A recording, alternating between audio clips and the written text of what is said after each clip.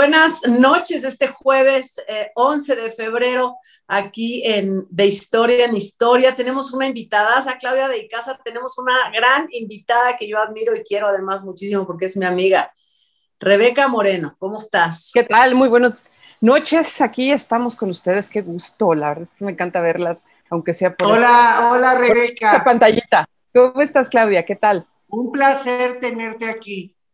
Muy contenta que estoy, la verdad. Ya habrá tiempo de reunirnos y mientras tanto y mientras nos reunimos, ustedes suscríbanse al canal, regálenos un like, pongan, pónganos comentarios, sugerencias, pues lo que necesiten, lo que nos digan y aquí estamos. Los leemos todos y ya. Eh, y hoy tenemos un programa. Suscriban a toda su familia. Suscriban a todo el que pueda, a todo el que se atraviese. Eh, Oye, por cierto, nuestro amigo José Ramón Hernández, eh, diseñador de imagen y demás, ha abierto su propio canal también, así que pues ojalá le vaya muy bien también. Oye, y tenemos sí, unos temas... lo tenemos otra vez con los chismes. Hacemos es buenísimo. Oye, oye, sí, y hoy tenemos un programa muy nutrido. Porque, pues, como tenemos aquí a Rebeca, hay que aprovechar para hablar de cosas interesantes, bonitas y otras no tan bonitas, pero pues, también interesantes, necesarias. Pero bueno, Rebeca, además de ser una productora excelente de teatro, conocedora de mil cosas y demás, pero además somos como empáticas porque creemos en lo mismo y estamos hoy, hoy es día de noche, hoy es noche de luna nueva a la una de, bueno, hoy es día de luna nueva a la una de la tarde, así que pues todas estas cosas nos, nos unen, pero hay una cosa que nos une a las dos y que, y que a ti te encanta, Claudia, que son las mascotas. Ah, uh, sí. Cuéntanos, Rebeca. Es que, fíjate que yo empecé con todo este tema de la ayuda animal a raíz de rescatar un perrito.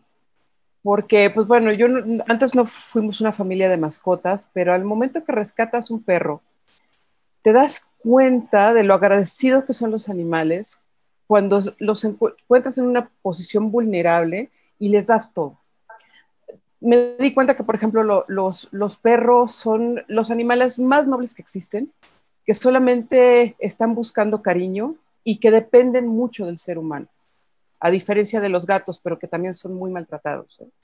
A mí me envenenaron esta, en esta pandemia mis gatos, imagínate, los, Supongo que los vecinos, sí, y, ahí me di cuenta que los gatos son mucho más vulnerables todavía que los perros por todas las leyendas que existen. En primero de noviembre, 31 de, de octubre, yo no sabía que a los gastos negros hay que resguardarlos porque todavía hay gente que, que hace rituales o que creen que son brujas o cree que, eh, vaya, eh, cosas que no te puedes imaginar que existan en este siglo XXI y que la gente le siga temiendo o teniendo supersticiones con los gatos negros, fíjate. Entonces, qué triste. Eh, también es real y está comprobado que toda la persona que no genera empatía eh, a lo largo de su vida, de pequeño ha maltratado a un, a un perro, a un gato, porque finalmente, o a cualquier mascota, una tortuga, un pez, en fin, porque finalmente eh, nosotros estamos pues más fuertes que ellos, ¿no? En, pues ahora sí que en esta cadena, porque no, dejamos de ser el ser humano un animal, ¿no? a veces no pensamos que se nos olvida que somos animales. Y, y hay eh, pues estudios que, que, demuestran que cuando una persona no es empática o no, no fue cariñosa o, o, o que cuidaba a los animales, conforme va creciendo, si no les enseñas también a los niños esos, conforme va creciendo se vuelve una persona poco empática, que son las personas que maltratan, que son las personas que generan alguna, eh, pues, ¿cómo explicarte? Este, psicosis, ¿no? O personas claro, son, quienes padecen algún trastorno de conducta que no ha sido atendido en la infancia y se vuelven todavía peor, claro, por supuesto.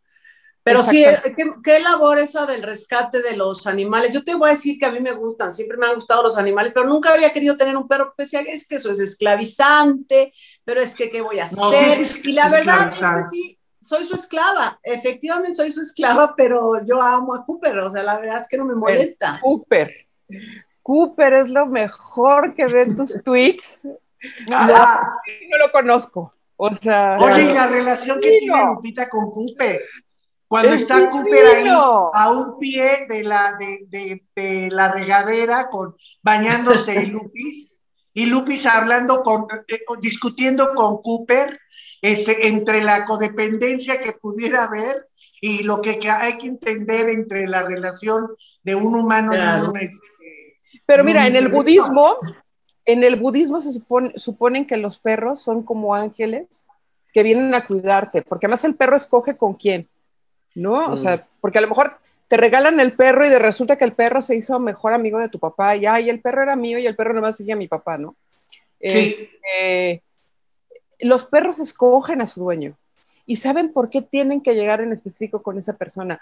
Ya después en la vida, por ejemplo, cuando a mi mamá le dio cáncer de mamá, teníamos una perrita que la seguía mucho y a la perrita también le dio cáncer, ¿no? Este, y en las mamas. Entonces decían, es que venía más fuerte para tu mamá y, el perrito lo absorbió, ¿no? Porque, porque además sucede que, el, que no es que tú seas dueño del perro, en realidad el perro te adopta a ti, tú eres propiedad del perro. O sea, eso es lo que ellos ven. ¿no? Entonces, este, pues es este rollo de protegerte. Ellos, ellos, ellos van a dar la vida por ti, no me queda, no, o sea, me queda claro, ellos van a, van a, van a hacer esa empatía con alguien que sabe que tenía que llegar a sus vidas.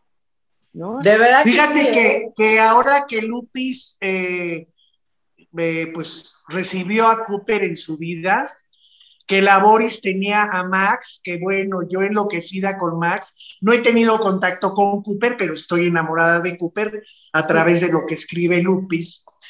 Yo no tengo ningún animal, yo vivo sola. El único animal que vive en mi casa soy yo. Sí, te, sí tiene razón Lupis. Si vas a, yo soy de la idea que si vas a tener un, un cualquier tipo de animal, estés enfocada en cuidarlo, y en mantenerlo bien, porque si no, no tengas una mascota. Porque a mí me parece injusto que vas, compras una mascota para los niños, los niños juegan un ratito con la mascota y el ratito a nadie le importa un comino. Como a mí sí me parece que sí te esclavizan, de que yo voy a México o si salgo de viaje aquí en Carambas, le encargo yo mi mascota. Pero les voy a platicar algo hablando de los gatitos. Hay un gato aquí donde yo vivo, que es de, ese es un condominio, un gato blanco que siempre intenta meterse a mi casa y la verdad le digo que no es bienvenido, ¿ok? Pero chistoso y bien curioso porque se sienta exactamente donde están las palmeras de, de mi casa enfrente, les juro por Dios que siempre me lo encuentro sentadito viendo a mi casa. ¿Qué es eso? A mí, es un gato blanco, no es negro. Pero a mí se me hace que se están acechando. Trae una camarita el gato ahí pegada. Algo ve, ¿eh? Dicen que los gatos ven, en, eh, o sea, eh, nosotros vemos una cierta vibración. Eh, las gentes que, por ejemplo, ven el aura ven una extra de vibración y supuestamente los gatos ven más ondas vibracionales, así como los perros escuchan otras ondas vibracionales que nosotros no, no escuchan, ¿no? Por los, por lo, cuando tienes el silbato que tú no lo oyes, el perro sí. Pues bueno, también en lo que refiere a la vista, hay vibraciones que dicen que los gatos sí ven. Entonces, pues a lo mejor anda por ahí un espíritu, Claudia, que anda... No, eso estoy, no, no, no, de eso sí estoy segura porque aquí estuvieron las cenizas del papá de mis hijos y yo siempre siento que está aquí en mi casa. No hay problema, ¿eh? Yo con eso no me incomodo. Pero sí es muy curioso que el gato se quede por horas viendo hacia mi casa. ¿Qué, qué conversación podría tener con él, por ejemplo? Mm, pues, a lo mejor él está platicando con, con alguien, no sé, no sé si es Claro, acuérdate que aquí Cooper descubrió un fantasma, bueno, yo estoy casi segura que descubrió un fantasma, porque ya les platiqué, Rebeca, que ahí tengo hasta el video de cómo le ladra a la nada, o sea, de cuanto no es nada, yo creo que sí hay, este, hay algo, pero bueno, el chiste es que hay, que hay que rescatar mascotas, hay que, y si no las rescatan y nada más las tienen, pues cuídenlas, y si no las tienen, no los maltraten, si no son sus perros, pues no los maltraten, solo respétenlos a los perros, a los a cualquier ser vivo, yo creo, ¿no? Que sean los pajaritos, eh, las mariposas. fíjate que eso lo aprendí yo de mucha gente en Twitter y aquí en YouTube. Pues las arañas, todo el mundo está acostumbrado y la mata. Pues entonces ya agarro un folder, un frasquito, y ya la tiro en el jardín, pues, pues su hábitat allá y ya se equivocó el lugar. No, yo creo que el respeto a la naturaleza en general es algo que se debería promover en todos lados. A la vida, porque hasta las plantitas dicen que... Uy, no. Esos son mi máximo, ¿eh? Y las plantas te dicen dónde quieren estar, te hablan. Mi casa está llena de plantas. Bueno, Lupis y yo somos también mucho de plantas, eso siempre lo hemos tenido, pero te juro que a mí una planta me dice, aquí no, y se empieza porque obviamente no me va a decir grosería ni me va a mentar la madre, pero te juro por Dios que te va diciendo, aquí, aquí, aquí quiero. Es increíble, a mí las plantas, ahí sí me vuelvo loca, ¿eh? Las plantas, wow.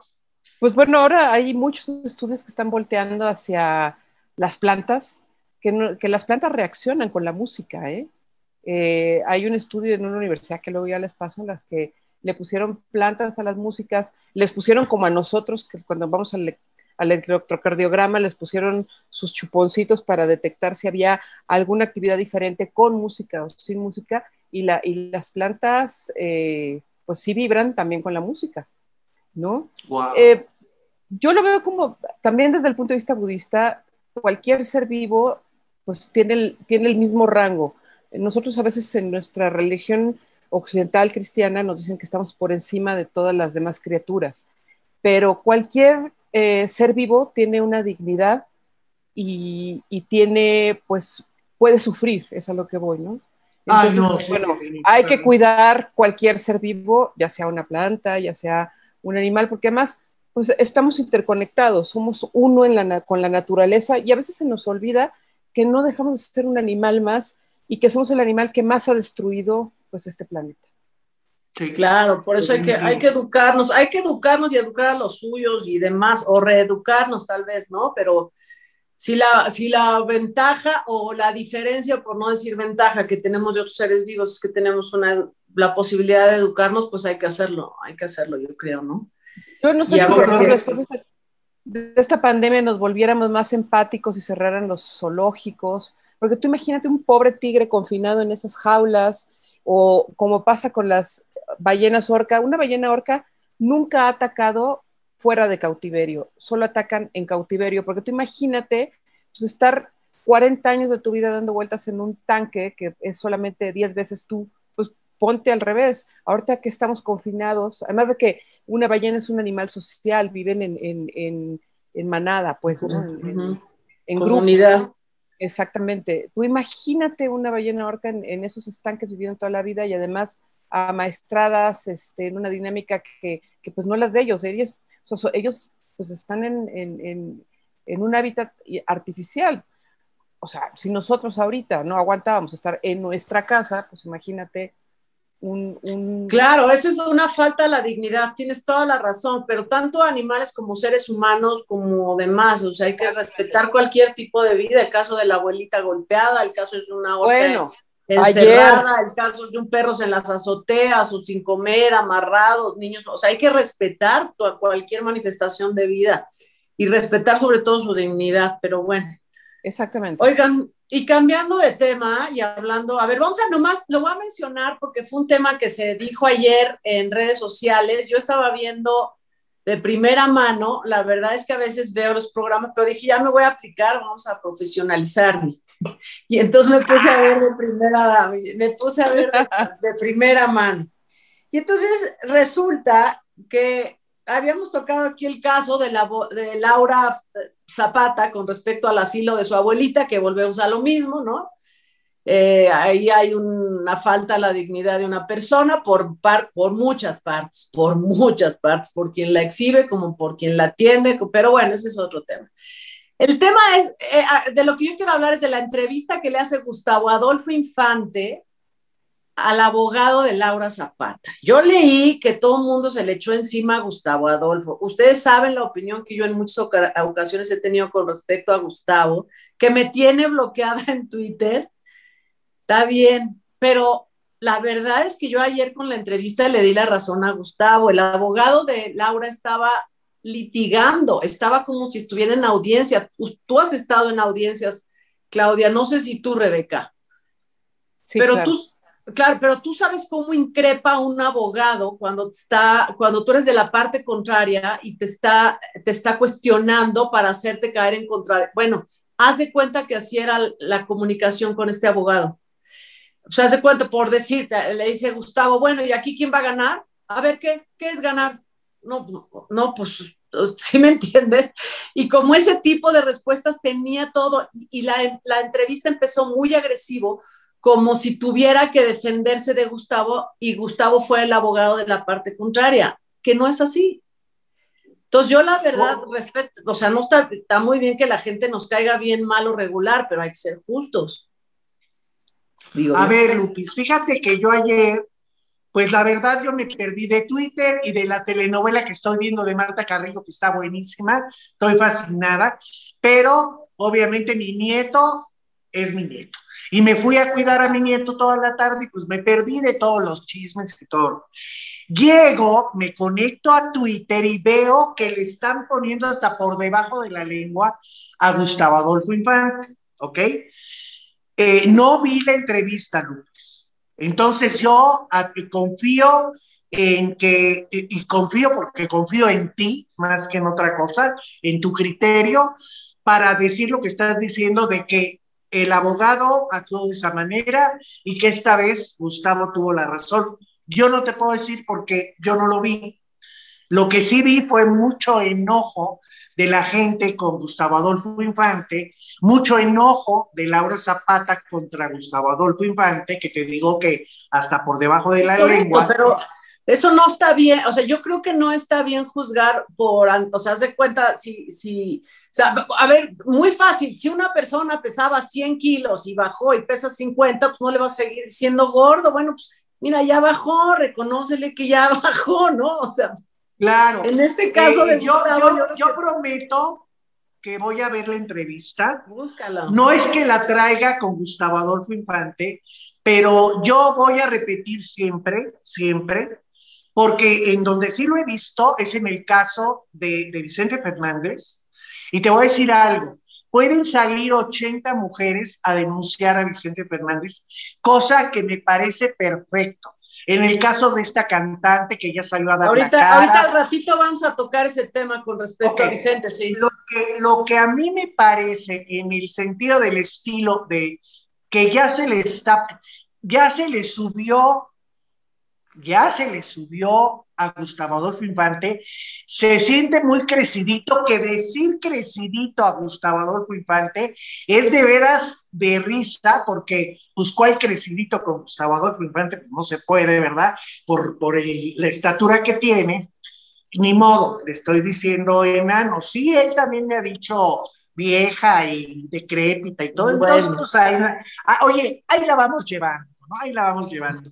Pero yo creo, Lupis, que la postura, independientemente que sí, un abogado te, te salga con esa jalada de que estoy litigando y yo a ti te respondo así todo, creo, creo, porque lo hemos comentado mucho en nuestros programas, Luis, que a mí también me ha pasado en programas donde he trabajado yo en hoy. Tú estás recibiendo a una persona en tu entorno, tú eres el anfitrión, y tú no puedes tener actitudes de mamerto, como son las actitudes que últimamente está teniendo Gustavo Adolfo Infante, con alguien. Hay muchas, muchas, muchas maneras. Pero en este caso no fue así. Bueno, muchas maneras de decirle chinga a tu madre a alguien, hasta en el tono. Pero yo te puedo asegurar, y te repito, a mí Gustavo me tiene bloqueada, la, la, la, pero en esta ocasión te puedo asegurar que no fue así. Sí, no, fue así, la verdad es que no fue así. Donde ¿Eh? yo dudo te digo es porque sí lo he visto, cómo se le va. Tú puedes decir, este cuate, lo, eh, Vicente Fernández, qué barbaridad, hay 10 mujeres que ahorita lo están denunciando. Pero ya lo habíamos dicho en otros programas, Luis. Es, es un abusador con el hijo de Marta. Ok. Ahorita, ahorita vamos a tocar ese eh, tema. Lupita, pero también, no sé, este, al final de cuentas, bueno, Gustavo sabe de comunicación y el abogado sabe de, de abogacía, de derecho, de leyes y sabe cómo defender las leyes. A veces creo que invitan a personajes a programas que pues, deberían darles una coachadita tantito para, para saber qué mensaje tienen que posicionar, si es que son el abogado. Yo no sé si un abogado que está en pleno, en pleno litigio deba salir a hablar en un programa cuando todavía no hay una resolución, ¿no? O sea, eso también muy poco ético. Este, y si también, y peor aún, si, si no le dicen, a ver, este es un programa de este perfil, eh, así es el presentador, y lo que tienes que posicionar es este mensaje porque a ti te conviene posicionar ese mensaje. Si no se lo dijeron y llegó ahora sí que, en, ahora sí que en, abogado en bruto, pues pasa lo que pasa. Yo creo que uno es el que se engancha. Yo creo que uno es el que se engancha. Voy a ver el, el video, no lo he visto. Yo siempre digo, uno es el que se engancha y otro es el provocador. También en este programa lo hemos dicho mucho. Cuando se juntan es el que se engancha y el provocador, es un desastre. Hay mucho rating, mucha polémica, pero no es exactamente lo que algunos buscamos, digo yo, ¿no? Oye, a propósito de rating y de imagen TV, porque ahí es donde está Gustavo Adolfo, ya avisó Nacho Lozano, es que ahorita me acordé, hoy avisó que ya es su penúltimo día y mañana se va porque lo contrató Telemundo y está bien, y qué bueno que crezca su carrera. Ojalá encuentre en Telemundo la libertad que tiene en México, que la verdad lo dudo muchísimo, pero lo que sí habría que investigar es quién en imagen está cobrando en Azteca y Televisa, porque esa televisora la verdad es que empezaron muy bien y con unas cosas nuevas y con ideas nuevas. Y han ido, el programa El Matutino era maravilloso y lo desarmaron. Nacho Lozano estaba en máxima audiencia y ya se les va entonces, yo la verdad es que creo que hay algún ejecutivo que está cobrando en otra televisora porque están con un traidor ahí dentro, me queda claro. No sé. Oye, como la rosa cuando le, la vas deshojando, ¿no? Sí, no, sí, sí, no, no, sí, sí. No, sí, alguien. Pero habrá que ver y se van a quedar Pamela Cerdeira e Irán Hurtado en el lugar de Nacho Lozano y como Irán Hurtado dijo y dijo bien, vamos a hacer lo que se pueda con lo que hay o algo así más o menos dijo. y está bien. Va a ser difícil, va a ser difícil porque es que está muy difícil. estilo muy propio. O sea, querer hacer lo mismo con otra persona, pues ya tiene otro ADN, pues otro, otra, otra que ese es otro programa, pero más bien otro, vaya, otro, pues otro nacimiento, otra forma de ser, cada quien le, imprime pues un sello y no puedes decir, no puedes comparar porque no es igual. Yo creo que lo que deberían hacer es en ese matutino, porque mira, Lupis es increíble. Yo sé que Joana eh, tiene todo el derecho de agarrar tres meses para acabar de tener a su beba, ¿no? qué padre y todo. Joana, para mi gusto, es una muy buena periodista, muy, muy buena. El estilo de Joana me gusta. Y ahorita te juro por Dios que ¿Te acuerdas que metían de, de chile, de dulce, de picadillo para que estuvieran ahí pimponeando la nota con, con Anita?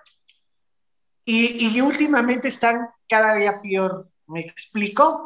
Porque, no, sí, porque ahorita era el estilo me pregunto yo, el estilo de imagen, Café, el estilo de imagen es Café, eso es lo que están buscando, eso pone en lugar de Joana Vegadiestro, para que Joana en tres meses regrese, no, cuando Joana que me avise, porque yo por lo pronto ahorita no veo espectáculo, ni, ni por Gustavo que mira, me lo, me lo evito cuando menos en un programa, ni, ni, a, ni, ni, a, ni acá. Entonces, pues hay que me avisen cuando vuelva Joana y pues ya me pondré contento otra vez de ver el matutino. Claro. A, mí me gustan mucho los anuncios de Soñare, de los almohadas. Oye, oye, por cierto, a ver, ahí les va. Esto sí, Rebeca, a ver, tú dinos, porque mira, yo, mira, me voy a quedar callada yo leo una nota el día de ayer que se aparece en TV Notas en donde una persona anónima, una fuente, dice eh, que Paco Lalas estafó y dejó en la calle a Lola Cortés, que la sabemos ha trabajado absolutamente toda su vida sin descanso alguno, ha sido una de las personas más trabajadoras que conozco. Y entonces ellos hacen una sociedad, según la nota de la revista, hacen una nota en sociedad que es teatro en corto, y resulta que Paco Lalas, según la dice esta fuente, registra el nombre de, teatro en corto a su nombre y pues a Lola se lo quita. Y por otro lado, eh, según dice, es que cuando Paco, durante el tiempo que estuvo teatro en corto, cuando había que pagarle a Lola, este, Lola le decía a Paco, pues guárdame mi lana, guárdame mi lana, guarda, que está bien, pues está bien, pues si yo tengo que guardarte tu dinero, Claudia, o de quién sea, pues lo guardas y ya sabes que eso no es tuyo, ¿no? Y sabes, lo separas. Y ahora que viene la pandemia, que se cierra el teatro, pues Lola necesita, bueno, necesita como lo necesitamos todos, pues nuestros ahorros. Yo quiero mi lana para seguir viviendo y a ver qué vamos a hacer. Y resulta que le dice Paco, pues no hay nada. Pero no hay nada cuando imagínate que Lola ha invertido en este proyecto de teatro en corto, pues los ahorros, porque sabemos el costo de lo que es el teatro, Rebeca, y tú lo, por eso te digo que aquí tú expláyate, porque Sabemos que los productores invierten fortunas para levantar el teatro y para hacer una compañía como Teatro en Corto, donde tienes un actor, otro actor, otro actor, obras, obras, obras, obras, y tienes que estar pagando continuamente, pues claro que Lola se levantó los ahorros de su vida. Y Paco después sale a decir, no, esto es una mentira, yo estoy muy bien, yo no me chingué nada, pero yo, la verdad que, que yo sí creo yo sí le creo a Lola Cortés y en este caso entonces a la revista TV Notas. ¿Cómo lo ves, Rebeca? Pues mira, eh, Lola Cortés, yo he trabajado con Lola, que la conozco desde que éramos niñas, y te puedo decir que si alguien ama el escenario y alguien da todo en el escenario, es Lola Cortés. Eh, es muy discreta también. Eh, muy al principio de la pandemia me contaba que habían pasado cosas increíbles, de gente que no lo podía creer. Después empiezan estas noticias. Entiendo que me está hablando de, Paco Lalas. Y la verdad es que este formato de teatro en corto, teatro de obras de teatro de no más de media hora, de 15 minutos, de 10 minutos, eh, hubo un boom, ¿no? Hace algunos años estuvo microteatro, teatro en corto, eh, vaya, hubo como cinco intentos de, de, hacer este formato que viene de España, también cuando hubo una crisis muy fuerte. Y el único que sobrevive y que además generan hasta incluso dos sedes, una en Coyoacán y otra en la colonia Nápoles, porque eh, se trata de rentar una casa, de acondicionarla, de poner una cafetería, de hacer elencos, de hacer audiciones para ver qué obra vas a meter, de poner una boletera, o sea, no es como nomás llegar y métete, o sea, tiene, tiene un tiene un cuidado y una forma de hacerse esta forma de teatro que es una forma válida, ¿no? Y es la única que sobrevive, contra viento y marea, ¿no? Sobrevive teatro, teatro este, en corto y es gracias al nombre de Lola Cortés, la verdad. Claro.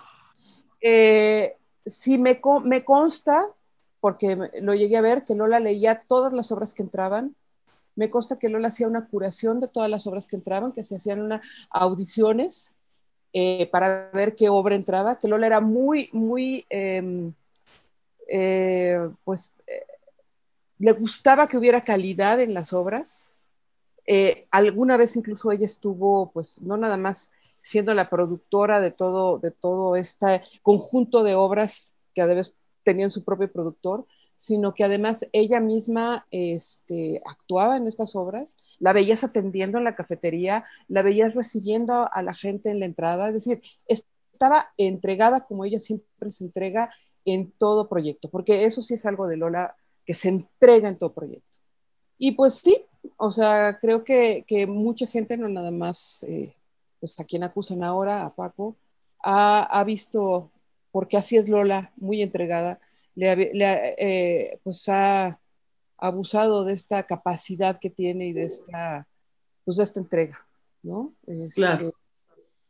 Aquí pues la pregunta es, Lola confió tanto en Paco Lalas que no hay una forma de demostrar, porque yo también le creo a, Lola Cortés, definitivamente, pero legalmente o no va a actuar legalmente, es que eso es lo que no sé. Eso, eso, eso no lo sé. Es tu dinero que tú trabajaste, estás en un momento crítico, pero más allá de eso, quedarte con el nombre de algo que no te pertenece, eso está muy cabrón. Porque además no nada más es teatro en corto. Eh, las la escuela que decía, que se llamaba como Escuela de Actuación Lola Cortés o Academia, era Academia de, Actuación, también les administraba Paco. Entonces, este, pues, vaya. Eh, pues o sea, confió ciegamente en él.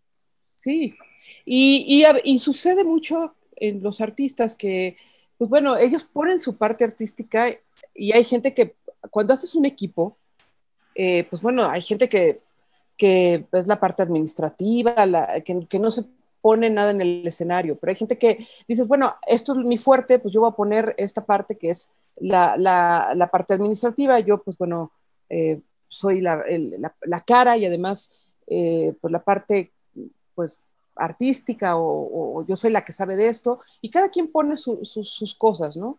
Eh, que, sabe dar y que sabe hacer. Hace, bueno, el año anterior a la pandemia también fue un año muy duro para, para Lola, que perdió a su mamá, este, y así de un momento a otro, ¿no? Y bueno, en ese momento pues, estuvo Paco para, para a su lado, ¿no? Eh, porque más con quien hablábamos era con Paco, y pues la verdad es que es muy desconcertante que menos de seis meses después, pues te das cuenta que pues no era una amistad por amistad, sino era una amistad, eh, pues no era una amistad, más bien era una relación de conveniencia para Paco, ¿no? De interés, de interés, pero es que además, a ver, e, es, cierto, lo que tú estás diciendo es la escuela de actuación más teatro en corto, las dos sedes, todo el trabajo puesto por el talento de Lola y el esfuerzo indiscutible que ha puesto, pues se lo podrá quedar Paco, pero imposible que lo eche a andar porque pues ni tiene el talento ni tiene la capacidad, la capacidad de Lola, o sea, puede quedarse con el nombre y la escuela. Pero eso es aparte, eso es sin duda, o sea, Lola se levantará porque tiene el talento suficiente, pero lo que está grave es que el día de hoy Lola no cuente con los recursos que debería tener después de años de trabajo. Exactamente. Y yo también, y mira, por conocer a Lola, porque generalmente uno no puede, o sea, ahora sí que uno es inocente hasta que se, eh, en este país alguien es inocente hasta que se demuestre lo contrario, este, pero en este caso yo sí pongo al fuego las manos por Lola Cortés, porque la conozco. No, no, yo, mira, yo no, yo no, estuve en ese ajo yo te voy a decir, lo que dice Lupita es real.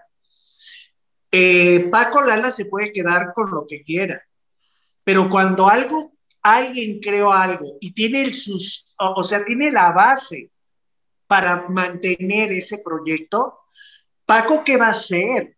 Hacia, a menos que, que, que, tenga un coludido por allá que sepa de este tema y que pues siga. Paco tendrá su castigo, como el karma, que le llaman, no solamente su castigo en tribunales, porque pues bueno, ya había tenido problemas antes en TV Azteca, que pudo haber, por algo que hizo, no sabemos si no hizo, pero al final de cuentas quedó fuera. Lola ha seguido teniendo oportunidades en, dos televisoras, ¿no? Al mismo tiempo.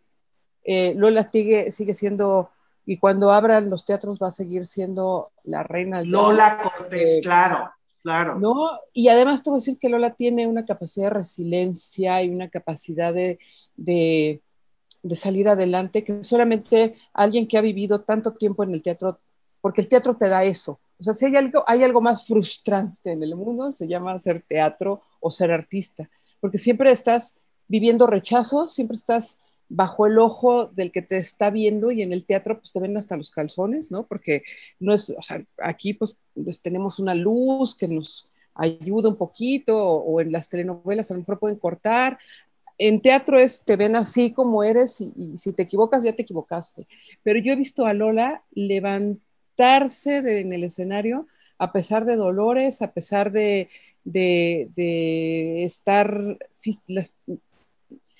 eh, lastimada físicamente y moralmente, y se levanta y se pone en el escenario y brilla la señora. Este, nunca falla una función, es disciplinada, lo que hacen los directores, nunca la verás con broncas entre compañeros. Si alguien sabe ser compañera eh, y que además eh, es compañera de, tanto del estelar como del que tiene el papel más corto, ¿sabes? De los técnicos, porque sabe lo que los técnicos se la rifan, porque ella ha vivido otras bambalinas. O sea, hay, si hay alguien con una calidad humana, que además ama su, ama su familia y ha sacado muy bien a sus dos, a sus dos chiquitos, ya, una ya es abuela, este, eh, a sus dos hijos, ¿no? Sí, sí, eh, es Lola, o sea, me consta, o sea, la he visto eh, hacer todo este papel multitarea y vaya, lo ha hecho y lo ha hecho muy bien. Entonces, pues bueno, aquí se le... Y además tiene un carrero porque Lola, ¿a qué edad empezó? Por vía de Dios. A los seis años.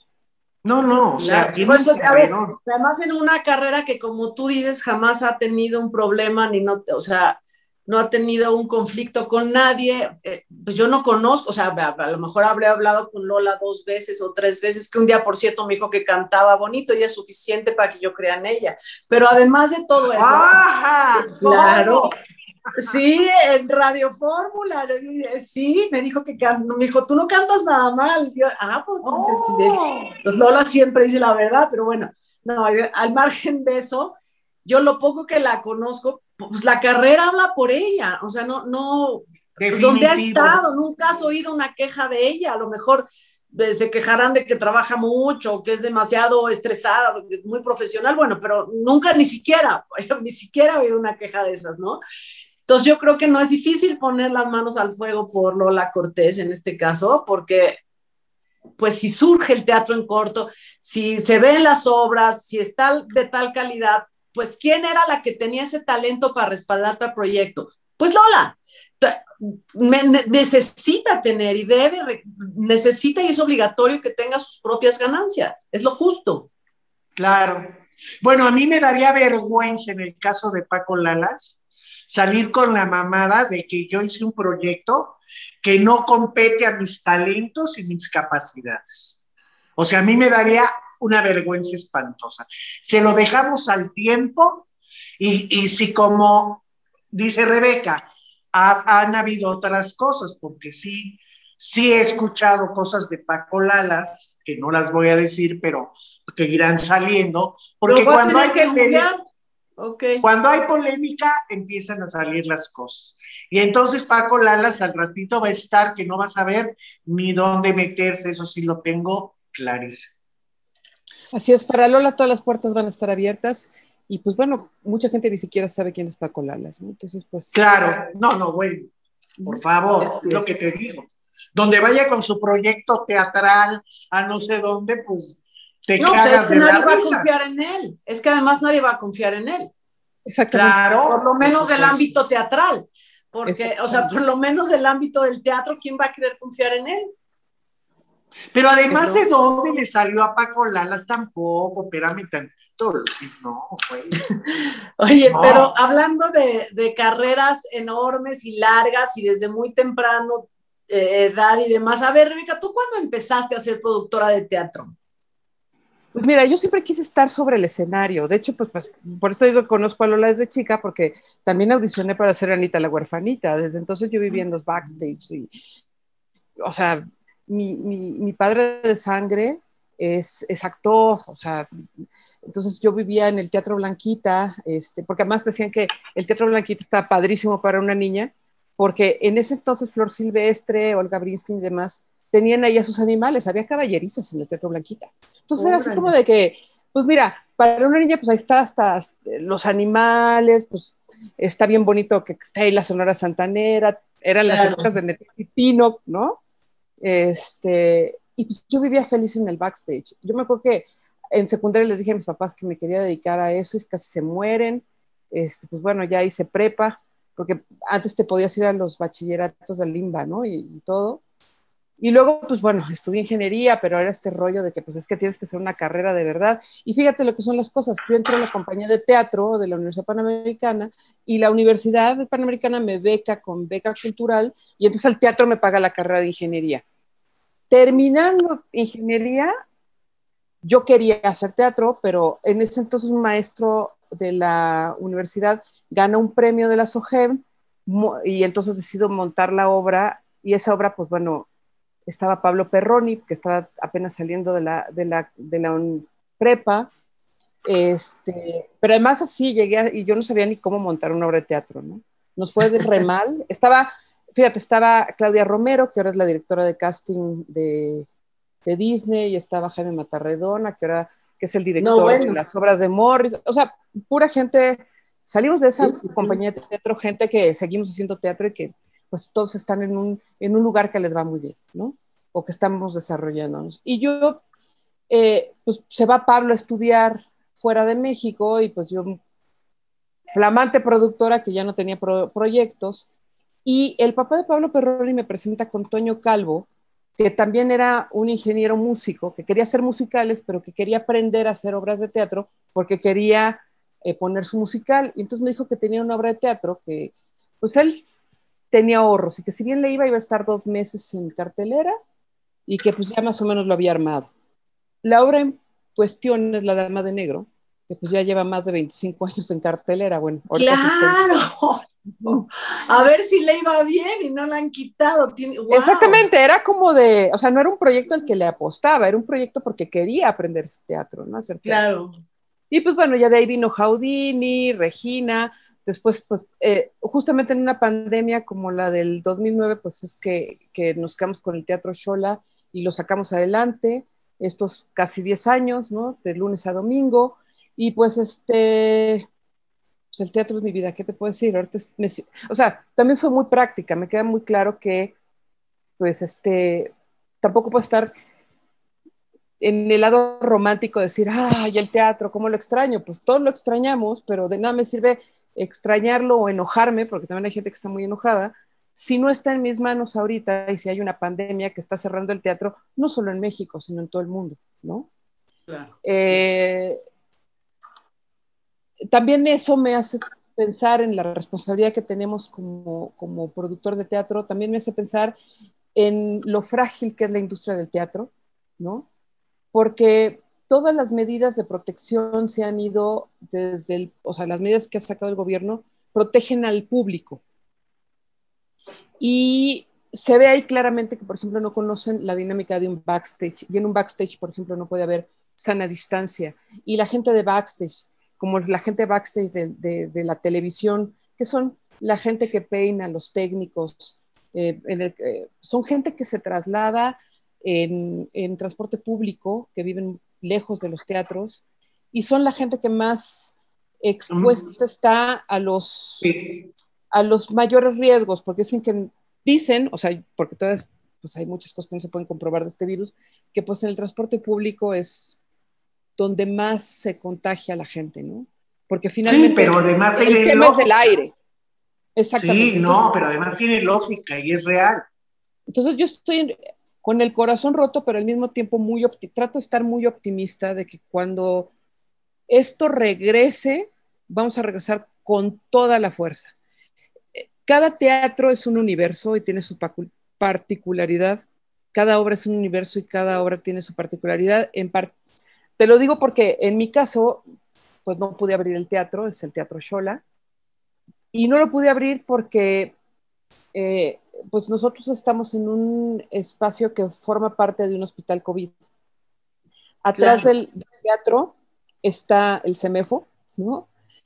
En la calle del, compartimos la calle con emergencias y en esa misma calle que, que compartimos con emergencia podemos ver, bueno, yo no lo he visto poco, pero pues los vecinos, que al final de cuentas se, hacen tus amigos, ¿no? Pues es que hay al menos todos los días 10 carrozas fúnebres que van a recoger pues gente que, muere en el hospital, porque es un hospital, ya lo dije, 100% COVID.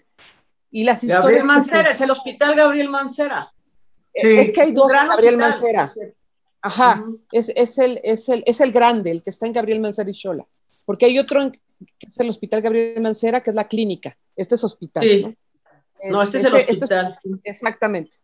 Entonces, pues eh, nosotros habíamos pensado regresar con Horacio Villalobos en, con un acto de Dios, que es una obra prácticamente un monólogo, cuidando la sana distancia en el escenario, cuidando la sana distancia en backstage, pero pues no, no se nos permitió regresar, todos los demás teatros del IMSS pudieron regresar, pero en particular pues este está dentro de una zona de riesgo, porque además naturalmente la explanada que está junto al teatro y eh, pues se vuelve una sala de espera de los familiares porque a unos metros está urgencias, en urgencias ellos no se pueden quedar y pues tú no sabes si el familiar va, va, va infectado y pues es triste decirlo, pero el aire que rodea el teatro está contaminado, ¿no?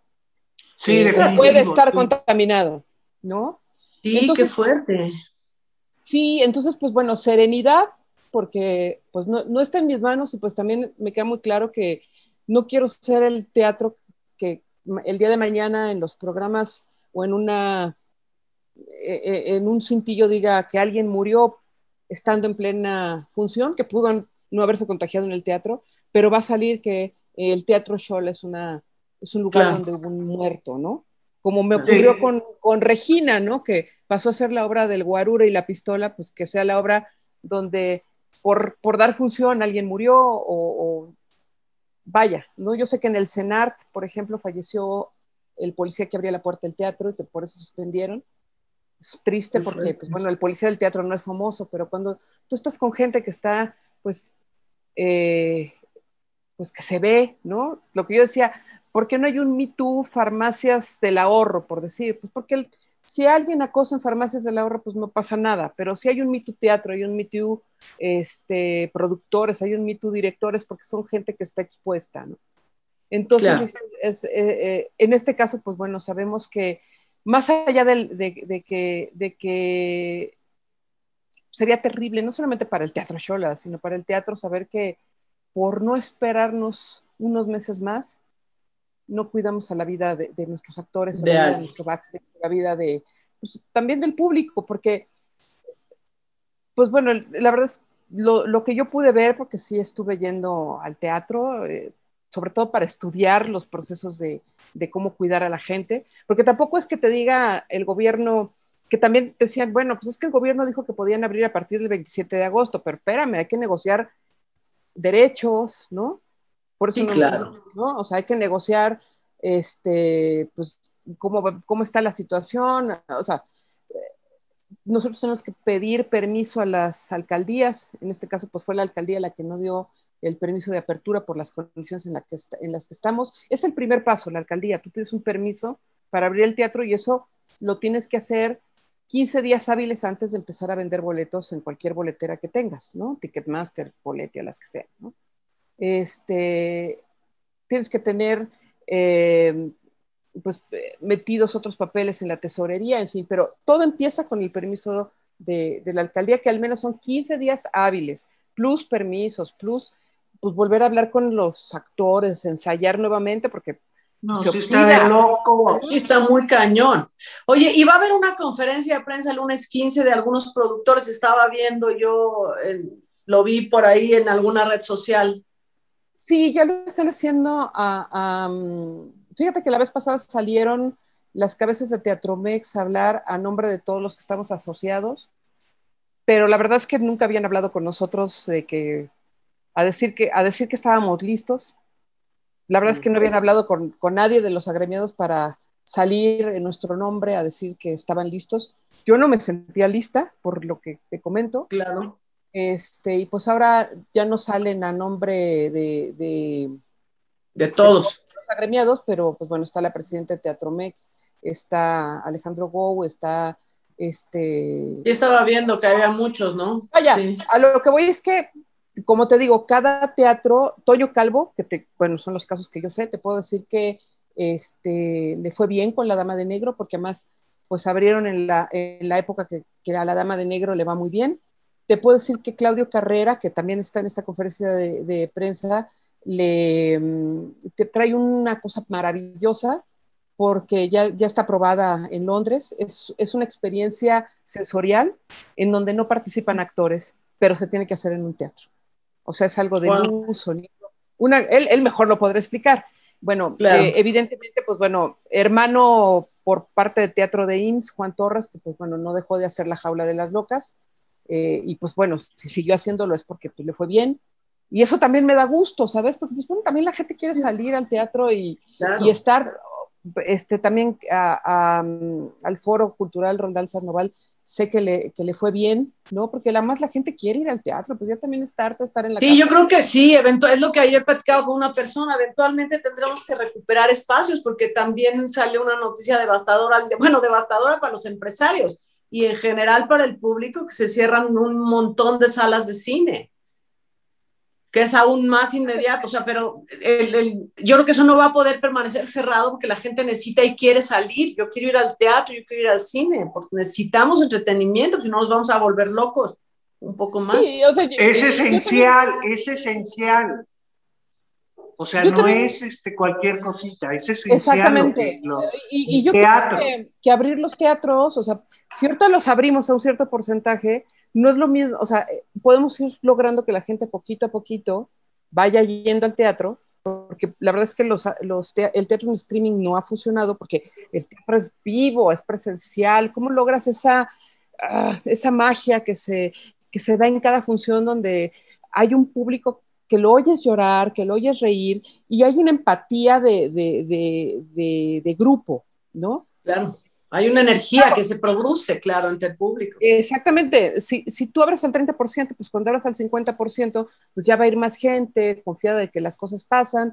Y pues bueno, que abra el que pueda abrir, el que, o sea, yo lo digo porque en mi caso es muy frustrante, ¿no? No poder abrir, muy frustrante. O sea, muy específico en ese sentido, claro. Y muy específico. Por eso te digo, y cada teatro pues tiene sus particularidades, ¿no? Hay teatros que tienen pues, buena ventilación, hay teatros que no, hay teatros, hay, hay montajes que no permiten la sana distancia, hay montajes que sí, hay teatros que tienen un backstage enorme que permite la sana distancia entre los técnicos, hay teatros que no, pero pues bueno, Alejandro Gou también pues tiene compromisos, también pues supongo que le habrá ido bien, eh, dado que este, pues insisten que, en que abramos. Eh, no estamos pidiendo apoyos de gobierno, por lo menos los comerciales, pero sí incentivos, que es el caso del ICEP, porque pues, nos pusieron un impuesto en plena pandemia, bueno, que no, habíamos tenido 20 años, ¿no? Entonces, lo que sí estamos pidiendo, abramos o no abramos, porque en algún momento vamos a volver a abrir, es que se nos quite este impuesto que, es un impuesto que ni siquiera es impuesto en realidad, porque lo pagamos del, bruto de taquilla, vendas mil boletos o vendas dos, vas a pagar el impuesto. Pierdes o ganas. a ver, ¿y cómo funciona ese impuesto? ¿Cómo funciona? Es, eh, eh, se tasa hasta el 7%, digo, perdón, hasta el 8% de la entrada bruta. Ahorita nosotros, no, o sea, lo tenemos pues muy abajo, pero vaya, es, eh, nosotros pagando el 5% del 8%, pero pues ese, ese mínimo ahorita lo necesitamos, ¿no? Claro, pero por supuesto. Puede ser este. De hecho, habíamos este, este, pues esta ayuda, este, esta, esta disminución del impuesto sobre espectáculo público, solo lo teníamos los teatros, no los conciertos, no los grandes conciertos, no, los, no lo deportivo, ¿no? No el cine. Porque, pues, no los que ganan más, o sea, ¿cómo? El teatro es más artesanal, es más, porque como te digo, cada teatro es una historia, ¿no? Entonces, este, yo, yo soy de las que más ha peleado porque en el, dos, en el año 2000, cuando Andrés Manuel era jefe de gobierno, fue cuando lo quitó y fue cuando empezó este boom que se vino en la Ciudad de México de teatro. Y si queremos que el teatro vuelva a tener este boom, necesitamos que ese impuesto pues nos, lo vuelvan a retirar. Que no significa que no pagamos ICR y que no pagamos IVA, ¿eh? O sea, no, que, no es no querer pagar impuestos, sino este como derecho de piso. Queremos estar como igual que cualquier tiendita de la esquina, o sea, el, como cualquier empresario. La tiendita de la esquina no paga de lo que le entra a la caja registradora un 10% por abrir la tienda. es absurdo. Nosotros por abrir el teatro pagamos digamos. sí, algo así buscaron hacer con el vino allá en el Valle de Guadalupe, pero bueno, pues esperemos que eso se solucione. Oye, a ver, y antes de que nos vayamos y demás, hay un tema que también queremos platicar contigo, Rebeca, porque yo vi una reacción tuya con respecto, por ejemplo, a, la, a los comentarios que hicieron Marta Figueroa y Andrea Legarreta en el caso de Naz Campos. Pues sí lo puso porque, mira, se me hizo muy, muy, muy poco solidario entre mujeres, ¿no? Yo no conocía a Nat Campos hasta ese momento, yo no sabía quién era, yo pues, evidentemente. No, o sea, pero es una mujer que la, que la ves hablar y dices, híjole, este, qué terrible, pero no llegas al día siguiente a juzgarla, ¿no? O sea, uy, me fui. Sí, sí, sí. ¿Las veo? No, no, no, estás, estás, estás, estás, okay. No, estás perfecto. Primero, una falta de empatía total. Eh, digo, aquí este rollo de mujeres, hombres, pero yo creo que, que las mujeres tenemos, ahora la palabra de moda es, es sororidad, es decir, eh, que entre nosotras nos apoyemos, que hagamos más comunidad entre mujeres, ¿no? No quiere decir que no apoyemos a los hombres, pero pues a veces las mujeres, las mujeres la tenemos más difícil, la verdad, ¿no? Entonces, pues, que, las mujeres no nos las hagamos más difícil entre nosotras. Sí, que no te juzguen por si tomaste o por cómo ibas vestida o por salir de noche. Y entonces vienen, que era lo que tú hablabas hace rato, Claudia, ahora viene este tema que, que yo creo que es un tema inagotable, inacabable y cada vez nos enteramos de más. Está el caso de Vicente Fernández, que si primero fue una bubi que le parecía el hombro y que demás, y que entonces ahora viene esta cantante a denunciarlo por violación, no hace ninguna denuncia penal, pero sí lo exhibe públicamente. Eh, yo creo que es un, un, tema, no sé ustedes las dos estarán de acuerdo, que tiene muchas aristas, ¿no? muchísimas aristas y es como muy delicado, porque si bien por supuesto siempre hay que apoyar a la víctima, por supuesto que no existe un tiempo determinado, ni límite, ni establecido para que se denuncie, puede ser a los cinco minutos, como puede ser 35 años después o nunca, por eso se llaman sobrevivientes y entonces, eh, pero sin embargo, cuando no hay una denuncia, pero entonces se cuestiona a la víctima, pero no, no sé, yo miren, no quiero a opinar ahorita, pero ustedes no sé quién quiere empezar con este tema. Mira, si quieres yo pienso porque incluso tengo, tuve un problema con, con una cuestión de teatro, con este tema del Me Too, ¿no? Ajá. Eh, es muy importante que Annette Campos haya salido y haya dicho ella y haya hablado y dado la cara. Eso es muy difícil, ¿no? Muy, y, y, de mucha valentía. Porque ahorita con el, lo del Me Too, que dices, yo te creo, yo te creo, yo te creo. Hay, hay muchas denuncias anónimas que están, por ejemplo, yo tengo una obra de teatro en la cual eh, este, denunciaron al autor, que era un chavito de 21 años, de, en un tuit de que había abusado de alguien. Un tuit anónimo y un tuit que le, que le echó a perder la carrera a este chavito, ¿no? Un tuit sí, claro. quién. O sea, esa parte es la que dices, oye, nadie es culpable en México hasta que se compruebe lo contrario, pero también, pues si vas a acusar a alguien, pues da la cara, ¿no? Claro, y es que eh, también es por el, por el otro lado, porque también es muy delicado, no es que no quieras ser solidaria, pero es que también tienes que tener mucho cuidado al hacer esas, y sobre todo cuando eres un medio de comunicación, por eso le estaba yo alegando a Lupita a mí me, si quieren demandar 80 mujeres a Vicente Fernández ahorita, de hace 20 años, eso yo no tengo problema. Y que vayan y den la cara y que platiquen y que lo vean ante las, ante las leyes, me parece bien. Lo que no me parece bien es hacer un juicio adelantado, como lo ha estado haciendo. Por eso me molestia con Gustavo Adolfo Infante. Eh, eh, a mí que estas mujeres van a ir a demandar a, y yo estoy en espera de que lo hagan porque es su, su, derecho y lo que corresponde hacer. Lo que a mí me parece muy grave es que meten a un chavo a la cárcel, a un actor y ya se lo acabó. ¿Por qué? Porque no merece tener un abogado. ¿Quién no merece tener un abogado, pendejo? Una. Dos, es ahora Vicente es un abusador y, lo, y es un, perdón, pero es un maltrato con una, con una víscera hacia una persona que apenas está recibiendo, ojo, declaraciones como la cantante que acaba de salir y las que se junten. Yo no estoy peleando eso. Yo lo que digo es que tenemos que ser muy cuidadosos en que no te adelantes a los hechos. No, claro, como dice Rebeca, con, este autor que lo acusan anónimamente y le destrozan y le hacen una fama terrible. Y es muy complicado porque, por ejemplo, eh, pues eh, de muchos lugares, por ejemplo, en, el, en, la UNAM, todos los que están en el MeToo no pueden ya tener oportunidad de trabajo. Entonces yo, yo me quedo pensando, bueno, también, entonces ya no veamos películas de Marlon Brando, ¿no? Ya no veamos películas de, de ¿cómo se llama? De, de, este señor Wood, ¿no?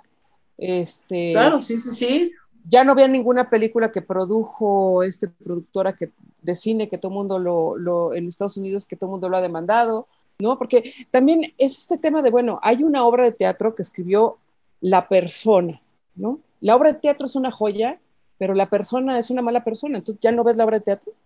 Ese, también, ese, ese, lindero es muy delicado, ¿no? sí, está muy cañón. Mira, lo que yo, creo... Ahí sí yo no entro.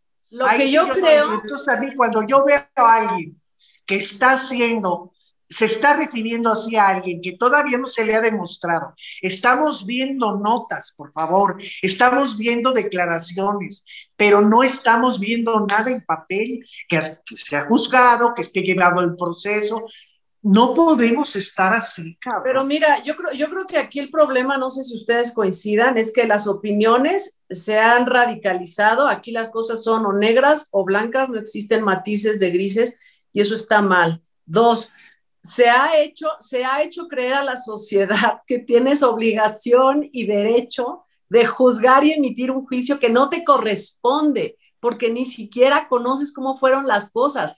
Pero ya estamos en este rollo de, linchamiento, de todos en bola, vamos a sacrificar al escritor de teatro y vamos a sacrificar a, a Vicente y vamos a sacrificar a la víctima y vamos a sacrificar al el hijo de la Figuera. Oye, pues no se trata de eso porque cada caso es específico. Yo no digo que estén bien o que están mal, pero no puedes estar emitiendo juicios de valor eh, y ser un comunicador y decir, este es un pederasta y este es un, no, pues mi rey, tú eres un medio, un medio de, y informas, pero no puedes tú emitir un juicio o ser tú, o sea, eso no está bien, yo creo, ¿no? No, por eso, por eso mi molestia. Ya veré yo el video de Gustavo junto, viendo al abogado, que ya sabes que me gustan ese tipo de cosas como, como la quieras. Pero párenle un poquito párenle un poquito, porque también esa solidaridad que piden de las mujeres con las mujeres, ojo, tiene un, un, un, eh, eh, eh, un límite que ya cae en, en, una cosa muy fea. No, es que antes de que te dé la palabra, Rebeca, hoy, por ejemplo, escuchaba en un programa, en un programa matutino, a dos hombres, fíjate nomás, put attention, digo, pay attention, a dos hombres decir cómo actuar cuando eres mamá. Ay, chinga. Yo me quedé, yo dije, ay, oye, pues que nos digan cómo se amamanta o el periodo el menstrual, cómo hay que atendernos, no que nos hablen de todo ese tipo de cosas, porque yo, o sea, te lo juro, y le rebatían a la otra mujer, y tú pues lo debes haber visto, claro, no, porque tú como mamá debes actuar así, yo, ay, qué chingo, pues ninguno es, ¿Cómo le haces? O sea, ¿cómo? ¿Cómo? Explícame. Explícame. Pero bueno, ¿tú cómo lo ves, Rebeca? Pues mira, es como el tema del aborto, ¿no? O sea, creo que ninguna mujer aborta por gusto. Este, y siempre son, o sea, siempre son más hombres los que salen a, a, quemar a la gente en leña verde que mujeres, porque creo que podemos entender por qué una mujer se ve en la necesidad de abortar, ¿no? Entonces, este, pues digo, nadie se embaraza para ir a abortar, o sea, decimos de que nadie se casa para divorciarse, ¿no? Exacto. O sea, al final es algo muy difícil, muy duro, y, y por eso yo creo que cuando salen estos casos, por ejemplo, con un tema tan polémico como el aborto, pues, nos vemos a más hombres gritando que mujeres.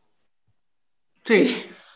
Yo es un tema que me reservo, y sobre todo en este programa, porque mira, Lupis y yo hablamos siempre bien claro, pero te juro por Dios que viene el programa, viene el chat y nos acaban diciendo algo que nunca dijimos. No, no, pero yo estoy Percibieron completamente diferente.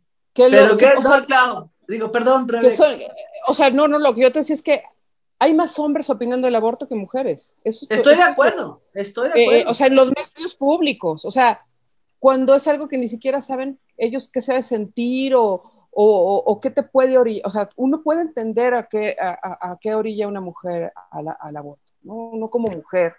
Y, de repente, y, yo creo que nadie dice, es lo que te digo, nadie, yo creo que nadie aborta por gusto. Y también, o sea, es un, es un tema muy polémico. Lo único que quiero decir es, quienes más en leña verde queman a las mujeres que abortan son los hombres, no las mujeres. Es cierto, es, que es totalmente cierto. Mira, es lo mismo, lo que estás diciendo es como los hombres o mujeres que juzgan a la víctima porque así tenía que haber actuado. Tú no has sido víctima nunca, entonces no, no, puedes decir cómo actuar, no puedes decir qué lo llevó, cuál era su entorno familiar, si el abusador era el papá o era el tío o era el entrenador o era un desconocido, no sabes, pues cada, cada historia es distinta, entonces no puedes opinar si nunca has sido víctima de cómo debería actuar una víctima, cómo debe actuar una mamá, cómo debe actuar una mujer si, no está, si no tienes el conocimiento. Yo, temas muy fuertes, ¿eh? Y, pero qué bueno, hemos quedado muy claro y yo creo que la recomendación, no sé ustedes ahorita, me dice, pero yo la recomendación es no polaricen las opiniones, traten de ver todos los matices. Imagínense que cada caso es una esfera y se puede ver de cuántos puntos de vista distintos, de billones de puntos de vista distintos. Tantos como entonces, de acuerdo a lo que acabas de exponer, Lupis, mi tarea, mi tarea, después de lo que yo vi, porque lo que estás diciendo viene en este contexto. Toda la gente se le fue a Gustavo Adolfo Infante a la, por debajo de la lengua de esa entrevista. Me voy a quitar, me voy a quitar todo el cochambre de aquí, me voy a meter a ver, a analizar la entrevista y en el siguiente programa no voy a polarizar, ¿eh? El lunes, Claudia, Rebeca, Rebeca, ¿tú qué, conclusión? Pues bueno, básicamente, y, hablando de esto, pues bueno, ojalá y que, pronto pues volvamos al teatro en este, en este caso. O sea, yo, yo estoy con, con mis compañeros con las mismas ganas de abrirlo, pero pues bueno, que cuando lo abramos sea porque ya es seguro, porque sabemos que no se va a enfermar ni la gente que trabaja en el teatro, ni los operativos que están con, la gente que, está en taquilla, que están en la puerta, que están como acomodadores, ni el público mismo, ni la gente que está sobre el escenario, ni la gente que, está en el backstage, que podamos estar seguros y que podamos llegar y abrir y decir, se abren los teatros, tercera llamada, comenzamos. Y yo estoy ansiando que ese momento llegue y que llegue, pues, pues que llegue pronto pues llegará y nos iremos a festejar al ángel y de ahí al teatro. Pero bueno. Eh, muchísimas gracias por habernos acompañado, Rebeca, por enriquecer este programa, por enseñarnos tanto. Y ha sido un placer tenerte aquí. Gracias. Tenerte aquí. Gracias, Claudia de Icaza. Gracias por estar, Rebeca. De veras, como dice Lupis, enriqueciste mucho el programa. Eh, creo que a la gente le va a encantar el programa. Y, este, y gracias, producción, y, pues un saludo a Cooper. gracias, a producción. Cuiden a sus mascotas y hasta luego. Nos vemos el próximo lunes. No dejen de suscribirse, por favor, y dejar todos sus comentarios. Gracias a todos.